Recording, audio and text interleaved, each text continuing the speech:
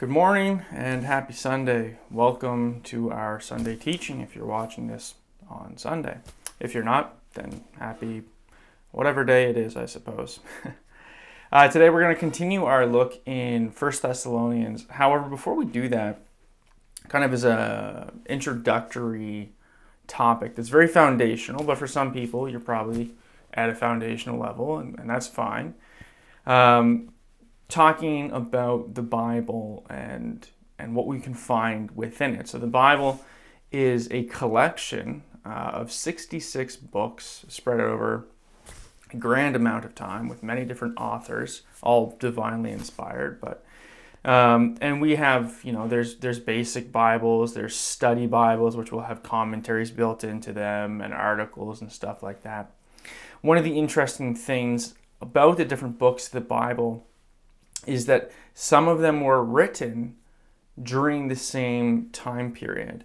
And so it's it's neat for context sake because we can look at, you know, first and second kings and we can look at you know the life of David and what was happening with him and then we can go and read the Psalms and, and hear his Psalms and associate that with the story of what he was going through.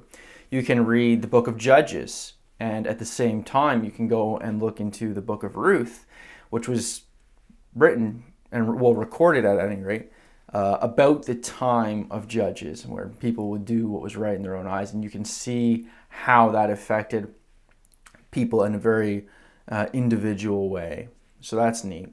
Um, and then what we're looking at today, one of the letters of the New Testament, which is called the epistles, um, and the book of Acts. And the book of Acts is the actions of the early church. And so it's interesting to see that as we read a letter that Paul is writing to a specific church in a city, we can actually go back in Acts and see when it was that he went there. And then that can help us to understand a little bit about why he's writing what he's writing. And so to start today, although we're looking at First Thessalonians, I want us to start by looking at Acts 17, which records when Paul went uh, to Thessalonica. And so, now when they had passed through, I'm going to butcher these names, but when they had passed through Amphipolis, Am, Amphipolis, I don't know, and Apollonia, uh, they came to Thessalonica uh, where there was a synagogue of the Jews. And Paul went in, as was his custom, and on three Sabbath days he reasoned with them from the Scriptures, explaining and proving that it was necessary for Christ to suffer and to rise from the dead, and saying, This Jesus, whom I proclaim to you, is the Christ. And some of them were persuaded and joined Paul and Silas and a great many of the devout Greeks, and not a few of the leading women. Uh, but the Jews were jealous, and taking some wicked men of the rabble, they formed a mob and set the city in an uproar and attacked the house of Jason, seeking to bring them out of out to the crowd where they could not find them. And when they could not find them, they dragged Jason and some of the brothers before the city authorities, shouting, These men who have turned the world upside down have come here also and Jason has received them, and they are all acting against the decrees of Caesar, saying that there is another king, Jesus. And the people and the city authorities were disturbed when they heard these things. And when they had taken money as a security from Jason and the rest, they let him go. They let them go. So now, that's the context of what happens when Paul goes to Thessalonica. He goes there, he preaches the gospel, he reasons with them in the synagogue. This was his custom. And some of the Jews follow, but a great amount of Greeks, and these, these are people that we call God-fearers. So they're not Jewish, but they recognize the legitimacy of the Jewish God, the God of the Bible, um, Yahweh. And then they, they so they, they go to temple and they follow and, and they do want to know God and be known by God. And so when they hear this message, they respond to it yes, what you're saying is true.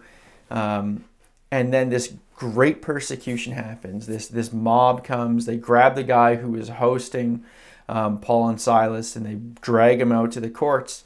Um, and I assume from the text he was a man who had some monetary um, wealth, and so he pays a fine instead of paying a penalty in some other way uh, that would be more physical, probably. And so, right from the start, it's like they they're there three weeks. They commit their the lives to God. There's a church that is born there, and right then in that moment, persecution happens, um, and not at a small level, but quite a grand level. They grab him. They you know they're trying to find Paul and Silas. There's this huge mob, fear and whatnot. Now, with all of that as a full understanding of context, let's look at our text today. 1 Thessalonians chapter 1, verses 4 to 10. For we know, brothers, loved by God, that he has chosen you because our gospel came to you not only in word, but also in power and in the Holy Spirit and with full conviction. You know what kind of men we proved to be among you for your sake, and you became imitators of us and of the Lord.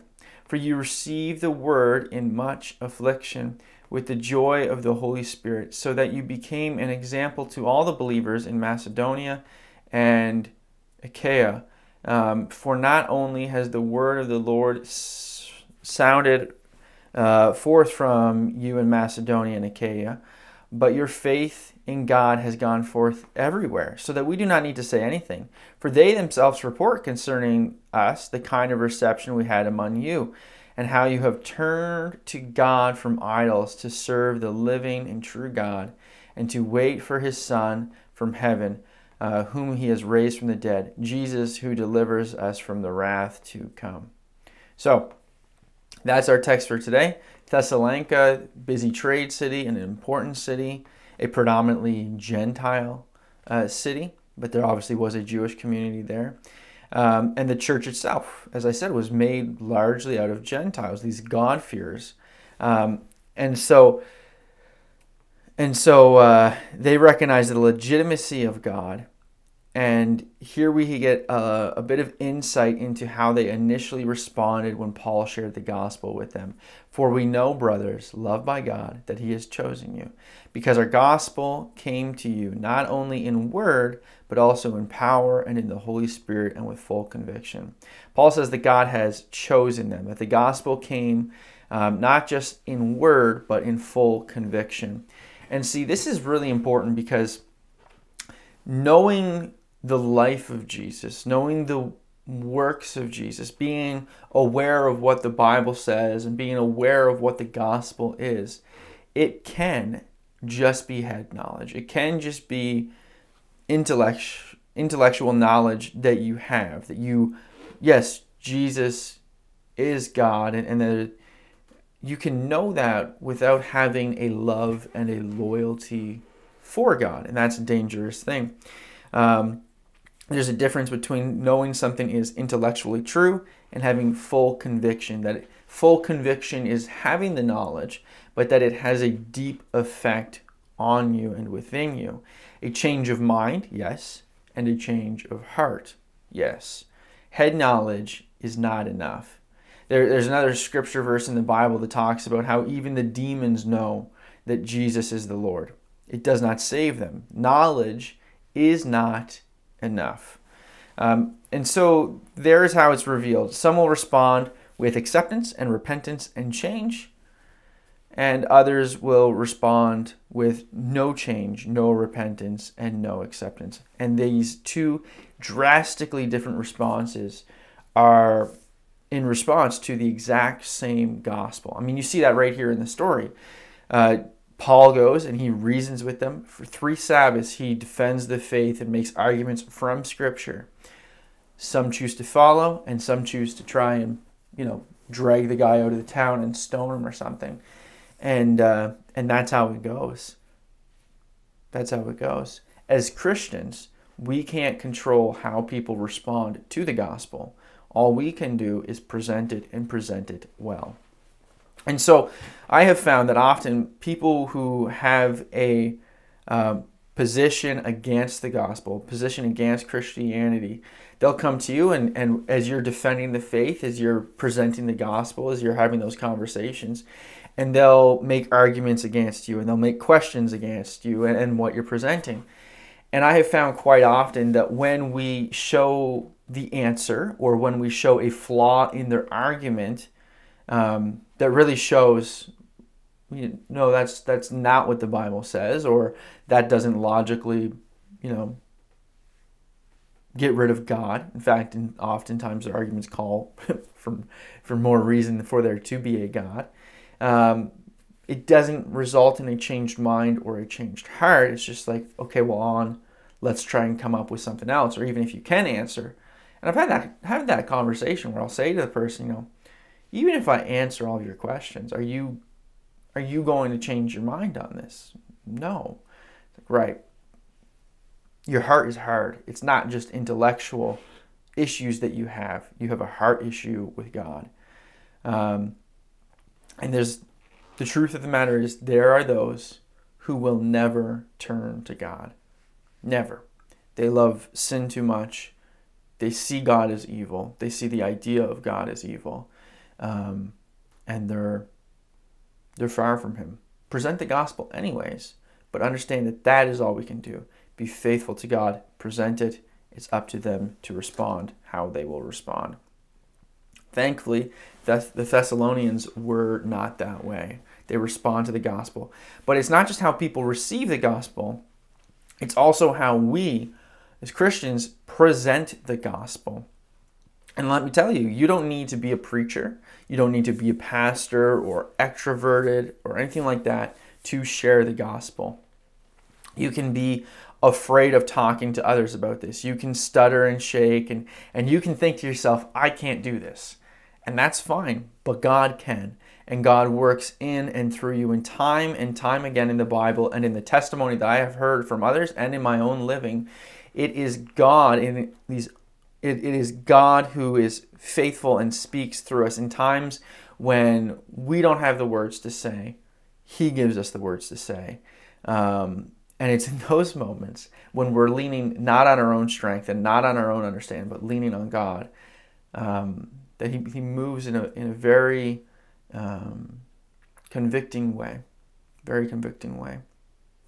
The unplanned moments in conversations and in sermons um, this happens a lot where I'll be I'll be preaching and someone will come up and they'll say, "Hey, you you spoke exactly into this situation that I'm going through," and they'll tell me what it was that I said. I'm like, "That wasn't even on my sheet.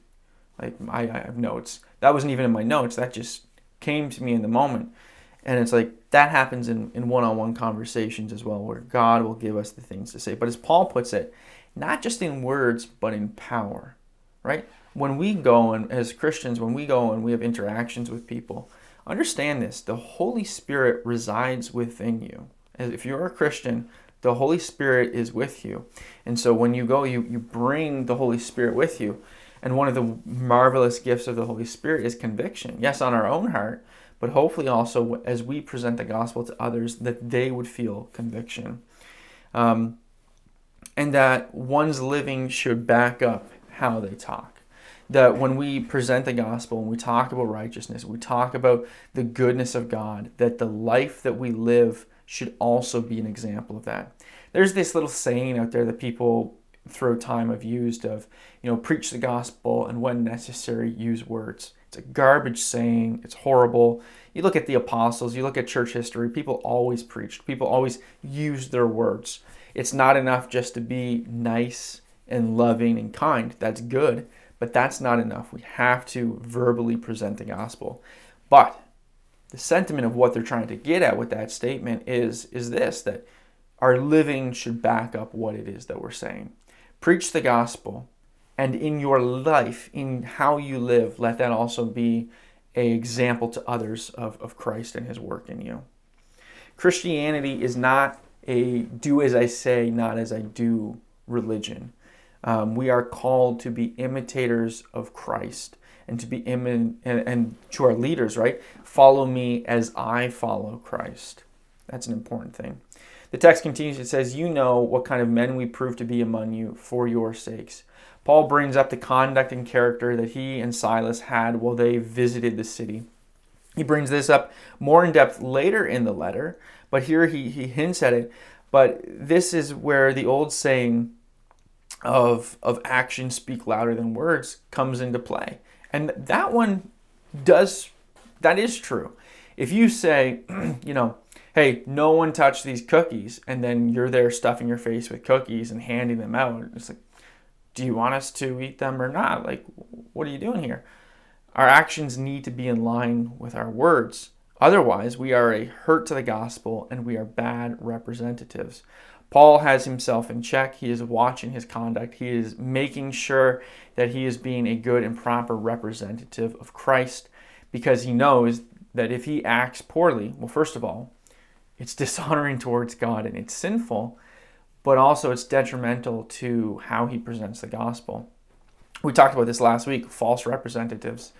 And, and that's why he says, for your sake, that his, his conduct is to their benefit, because then they receive the gospel in power and in truth.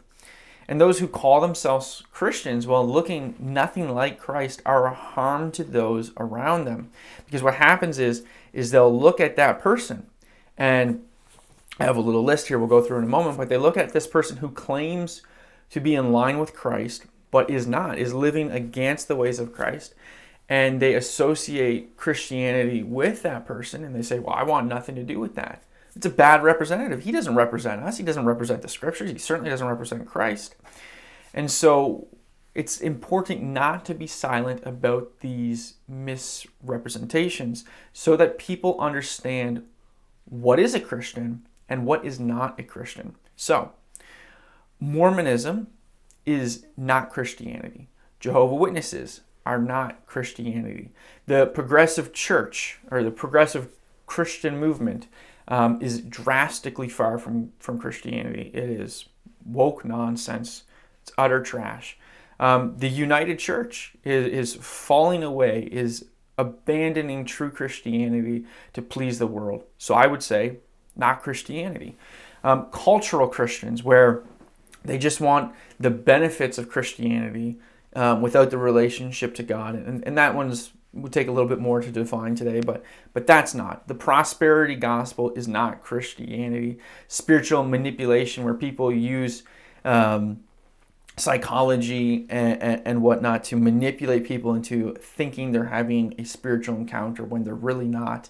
Um, and we talked about that before, but like we we can play certain tunes on the piano and dim the lights just right and, and kind of how we speak and how we build as we preach we can we can manipulate people actually quite easily. Um, and so well we don't but there's a lot out there that do. That's not genuine christianity. That's not what paul was doing here. He goes he reasons with them. Um, the Bible talks about how there will be many deceivers, and there there is. That's only a few. There is a lot more. You can look at the Mother God cult, and you can look at you know all these other cults that come up, um, and all these other groups that you know even maybe started Christianity, but then they adopted weird theologies and they focused on that, and they left left the truth for the deceive. Uh, wolf in sheep's clothing coming to the flock, in and around it, scaring off those who would come to the flock's gates, and um, it's important as the shepherd to give those wolves um, a good beating, send them off, and uh, and not allow them to hinder the sheep that are in the flock, and hinder those who would come and join it as well. So, be a good representative of Christ. Adopt the culture of heaven. Don't compromise. Stand for truth. Be kind, gracious, humble, peaceful. Be biblical. Uh, the text continues, and you became imitators of us and of the Lord. Uh, you received the word in much affliction with the joy of the Holy Spirit, so that you became an example to all the believers in Macedonia and Achaia. Um, for not only has the word of the Lord sounded forth from you in Macedonia and Achaia, but your faith has gone forth everywhere, so that we need not say anything, for they themselves report concerning us the kind of reception we had among you. Bigger chunk of text. Maybe I should have cut that one in half, but the start there echoes what Paul says in 1 Corinthians 11 Follow me as I follow Christ. Be imitators of me as we are imitating Christ. Notice the condition that they receive the word in, in much affliction. Counting the cost. Uh, for many of us, our conversion to Christianity didn't seem to have any immediate negative repercussions. And negative, uh, maybe not is the word, but um, harmful, painful. Didn't it didn't seem to cost much at first. That's we like that because it's comfortable. It's not good. Um, the truth is is regardless of, of your situation of how you came to Christ, saying yes to Christ means saying no to others. It's not always the case that people come to Christ and it costs them nothing. There are those who, who come uh, and, like this group, they believe in what Paul is saying, they believe in the gospel that is presented to them, they turn to follow Christ, and everything goes chaotic. That the world gets turned upside down, and the very people whom once loved them and trusted them now are out to get them. Uh, in Matthew 10 21 to 22, brother will deliver brother over to death, and the father his child, and children will rise against parents and have them put to death, and you will be hated for all by my name, for my name's sake. Uh, but the one who endures to the end will be saved. And then still in Matthew 10, but 34 to 39. Do not think that I have come to bring peace to earth. I have not come to bring peace, but a sword. For I have come to set a man against his father, and daughter against her mother, and a daughter in law against her mother in law. And a person's enemies will be those of his own household. Whoever loves the father or mother more than me is not worthy uh, of me, and whoever loves his son or daughter more than me is not worthy of me, and whoever does not take his cross and follow me is not worthy of me. Whoever finds his life will lose it, but whoever loses his life for my name's sake will find it. Now, it's not saying you have to despise your family, but it is saying that Jesus comes first. And that for many people, and probably if we look at history and we look at it at a global level, for the majority of people, coming to Christ means that some of the most dearest relationships you have are going to turn from peace to turmoil.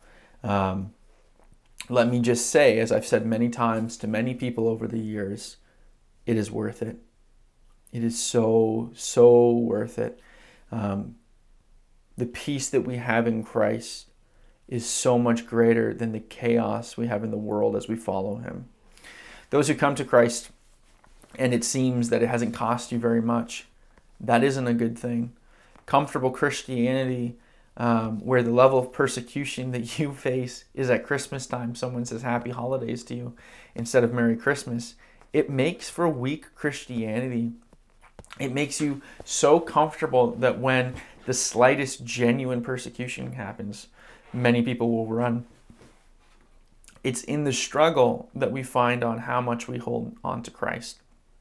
Notice when we look at here in, in this section of text, but when we look at history uh, around the globe once again, it is where the church is persecuted that it grows. Um, and there's something about that that the Christian who has faced great troubles but has kept the faith, um, that's the faith that moves mountains. That's the Christian who, who can say, regardless of anything that happens, I'm with you, God. I'm following you because I've faced the darkness and I know that you are good and I know that you are with me. In 1 Peter 4, it says, Beloved, do not be surprised at the fiery trial when it comes upon you to test you, as though something strange were happening to you. But rejoice in so far as you share Christ's sufferings, that you may also rejoice and be glad when his glory is revealed. If you are insulted for the name of Christ, you are blessed, because the Spirit of glory of God rests upon you. But let no one suffer as a murderer or a thief, as an evildoer or as a meddler Yet anyone who suffers as a Christian, let him not be ashamed, but let him glorify God in that name. So, so don't don't face persecution because you're doing something immoral. That's the repercussions of your sinful living. But those who face persecution because you stand for the ways of God, rejoice in that. Rejoice in that persecution and understand that it means you're doing the right thing. Um, and that God is with us, and that we will, as we share in His sufferings, so will we share in the glory in the kingdom of God. In Romans 5, it says, Not only that, but we rejoice in our sufferings, knowing that suffering produces endurance, and endurance produces character, and character produces hope. And hope does not put us to shame, because God's love has been poured out into our hearts through the Holy Spirit who has been given to us. Wonderful text. Recognize that the suffering, the persecution that you face makes you stronger as a Christian. Um, and hold on to Christ in the midst of that. Do not back away from it. And so, what will it cost you? Coming to Christ, your commitment to God, what will it cost you? Maybe it will cost you a relationship with those that you love. Maybe it will cost you the respect of your peers. Maybe it will cost you promotions and jobs because you hold a moral, co- uh, moral code that makes it difficult for you to do the tasks that they would want you to do. Maybe the teachers of your children will target your children. Maybe the other kids won't want to play with them. Maybe you'll be beat or imprisoned. And, and I know that this sounds like a drastic statement uh, to make in Canada, um, but I can look at the laws that have been tried and have been passed in the last number of years, and I can look at the direction of the culture, and, and I, I do believe that there's a strong possibility um, that there will be a day where me and my peers, fellow preachers who hold to the word, could find ourselves locked up for holding the views that we hold. If that day comes, brothers, be faithful. Continue to present the word. Uh, don't don't allow the fear of persecution to stand in the way, but understand God is control. Something that's a, a drastic statement. It's a reality in much of the world, and it very easily could become one here as well. And so we can say maybe this or maybe that. But understand the cost should not be underestimated. Whoever loses his life for my name's sake finds it, like, gets it all. Um, it, it's worth the cost. But in Luke 14, Jesus gives this teaching. He says, If anyone comes to me and does not hate his own father and his own mother and his own wife and his children and brothers and sisters, yes, even his own life, he cannot be my disciple. We'll pause there. Um, it's the idea of value that you love God way more, that the love that you have for God makes the love you have for other things look like hate in a way. Don't be hateful towards people. Um, we can talk about that another day, perhaps, but we should love God the most. Whoever does not bear his own cross and come after me, so dying to self, putting the life that you held and found dear, putting that aside, following Christ, abandoning everything else, for which of you desiring to build a tower does not first sit down and count the cost, whether he has had enough to complete it, otherwise he has laid a foundation and is not able to finish. And all who see it begin to mock him, saying, This man began to build and was not able to finish. Or what kind of king going out to encounter another king in war will not sit down and first deliberate whether he is able with 10,000 to meet him who comes against him with 20,000? And if not, while their other is yet a great way off, he sends his delegation to ask for terms of peace. So therefore, anyone who does not renounce all that he has cannot be my disciple. It's this idea of you need to count the cost. And this is a frustration I have where people will present the gospel and they'll present down this watered down thing of come to Jesus, it will cost you nothing. It could cost you everything. Lay down your life. It could literally cost you your life someday. But come to him, it is worth it. And what happens is, is people do not count the cost. They come to God, and as soon as the going gets tough, as soon as they realize, oh, the sin that I want to do, God doesn't want me to do, they abandon their faith because their faith is weak, because it was built on lies and watered down truth. Um, and so when we present the gospel, give people the full picture. Let them understand this is not something to take lightly. This is not something to add to your living. This is something that overrides your current living. It completely changes everything. Um, and so you, if you're coming to Christ, you need to be willing to put him above absolutely everything. If you're not willing to do that, there's no point in you coming to Christ um, because your faith will fail and it's not genuine, and you are not only misleading yourself, but you're potentially misleading others. The Bible has this other teaching that Jesus does where he says, The kingdom of God is like a man who is walking through a field and he trips on something and he looks back at what he tripped on and he discovers a great treasure. And so, with much haste, he goes back and sells everything that he has that he might buy the field and obtain the treasure. And so, the question is as you look at Christ, as you look at Christianity, as you look at what he has done and what it costs to know him, are you willing to go back into town, sell everything you have, give everything up? And that does, doesn't just mean the physical things that you have. Are you willing to give up everything in order to have Christ? If not, you've miscounted the cost. Uh, or you're just being true to yourself and you're not interested in that. You're more interested in your sinful living um, and building your own kingdom. But understand that you will live life with pleasures for now, um, but that leads to eternal damnation, that leads to separation from, God, and ultimately it is horrible for you um, and not proper. The, the key here, the cost is great. It's worth every cent. It's worth all that it is. If it costs you absolutely everything, if you resemble Job and then you die for it, it is still worth it. Um, so, despite the great uh, affliction that they saw, they recognized that it was worth it. And in the affliction that the Thessalonians went through, they had joy from the Spirit of God. The Holy Spirit gave them a joy. The Bible talks about how we have a joy that goes beyond understanding. The peace of God, Philippians 4 7. And the peace of God, which surpasses all understanding, will guard your hearts and your minds in Christ Jesus. This is different than happiness. Happiness is fluff, it's temporal, it, it's fading.